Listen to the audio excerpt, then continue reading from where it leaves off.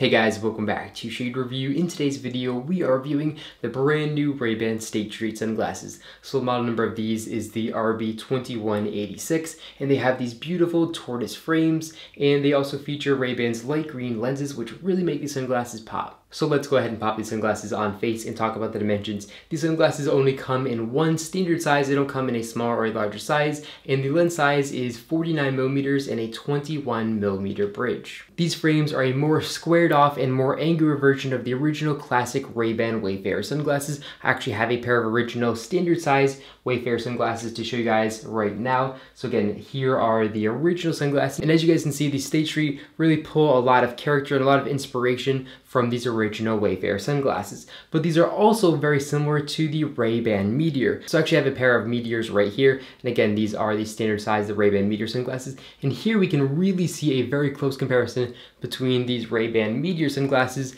and the brand new Ray-Ban State Street sunglasses. I know a lot of you guys were interested in me comparing them, so that's why I decided to do it in the actual review rather than making a whole separate comparison of these sunglasses. So let's go ahead and take a closer look at some of the details of these frames. Of course, like every pair of Ray-Ban sunglasses, they're going to have a painted on Ray-Ban logo here in the top right corner of the lens. And then if we take a look here, we can see those classic Wayfarer style metal accents here in the top corners of the sunglasses. Now moving all the way to the outside temples, we can see that raised Ray-Ban logo. And again, that raised Ray-Ban logo is found on both sides and is also on the original Ray-Ban Wayfarer sunglasses. These sunglasses have these wonderfully beautiful tortoise acetate frames. And if we look through the frames here on the temples sunglasses, we can see a metal stem that runs all the way from the front to the ear rest. And that metal stem is there to add rigidity to the sunglasses and it also makes adjusting them a lot easier. These sunglasses have very nice and premium all metal hinges that feel very good when opening up and when closing them. And these hinges are actually the exact same hinges found on an original pair of Wayfarer sunglasses. These sunglasses, just like the original Wayfarer and the Ray-Ban Meteor sunglasses,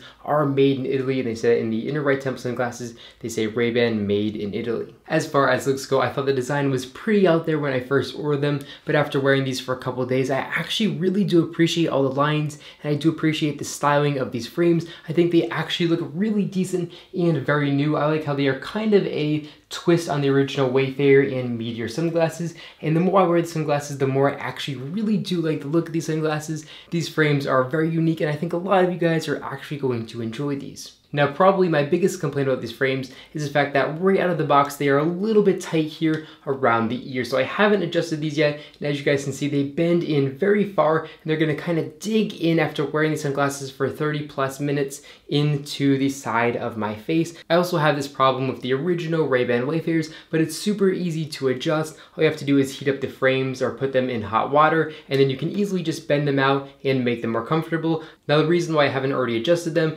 is because I want wanted to show you guys how much they do curve in right out of the box. Now, if you're not comfortable adjusting these frames yourself, you definitely can take them somewhere, but that might also cost you an extra couple dollars. So this really isn't a big deal to me because I'm just going to adjust them as soon as I'm done filming this video, but I figured it was worth mentioning to you all anyways. As far as coverage from sun goes, unfortunately sunglasses do not offer the best coverage. There is a pretty big gap to sunlight in unprotected here up top. Then again, if we take a look here at the sides, again, there's a pretty big gap. I'd say this gap here up top and the sides are a little bit bigger than a pair of traditional Ray-Ban Wayfarers, but these gaps definitely aren't as bad as something like a pair of original Ray-Ban round metal sunglasses. Now, as far as pricing goes, these sunglasses are going to run you around $165 directly from Ray-Ban's website or in most stores. However, I recommend picking these up on Amazon. You should be able to save around $20 or more by picking them up there. So I will leave a link description below. If you guys can check out these exact pair of sunglasses on Amazon. But overall, I really do like these sunglass frames. I think they look really, really good. I like how they are a take on the traditional Ray-Ban Wayfarer sunglasses, and they really do change it up a lot. I like the angular style, and I love all the different lenses and frame combinations that Ray-Ban released with this particular pair of sunglasses. But that's all I got for you guys in this video. If you enjoyed it, make sure to give me a big thumbs up down below,